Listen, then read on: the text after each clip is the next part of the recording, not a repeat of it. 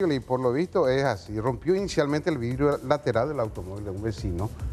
eh, y horas después, o sea, 40 minutos antes, no, no fue una hora, eh, 40 minutos después, eh, se fue a tratar de sacar el autorradio. Ahí lo sorprendió el vecino dentro del automóvil, se fue con dos machetes este señor para defender su propiedad. Se encontró con que era su vecino. Y él nos va a relatar la, la- la historia que... un señor bastante bonachón, por lo visto, este, esta víctima eh, radicó su denuncia en la comisaría segunda. Eh, prefirió que Iván salga del automóvil y se vaya y hablar con su mamá, dijo.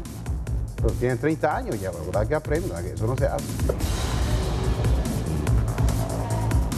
Me rompieron el vidrio del auto primero, o a las 10 de la noche más o menos.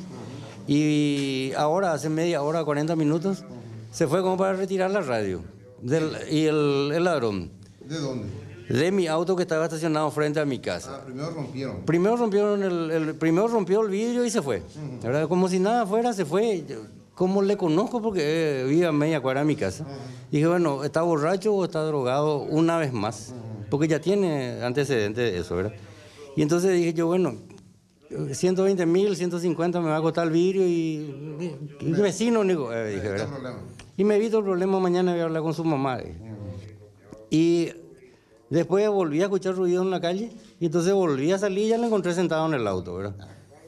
Y, pero no pensé que era él. Entonces eh, saqué dos machetes que tengo y me fui, ¿verdad? Con la intención de sacarle la cabeza más o menos al, al que estaba sentado en mi auto. Y me voy y me encuentro con él, ¿verdad?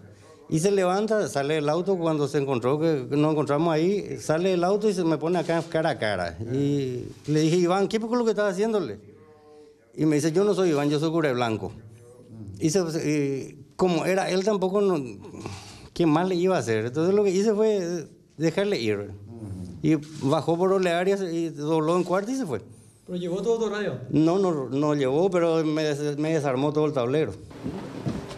Y no estaba usando el auto porque estaba con, con algunos problemitas de freno. Ahí está. Y allá está todo, todo lo que quedó desarmado el tablero. ¿Mm? La radio inútil ya. Porque le rompió toda la careta, porque esta, esta radio que viene con el auto no es que se quita. Exacto. Una vez que esto cuando quitas ya tenía que tirar. Perjuicio. Perjuicio nomás.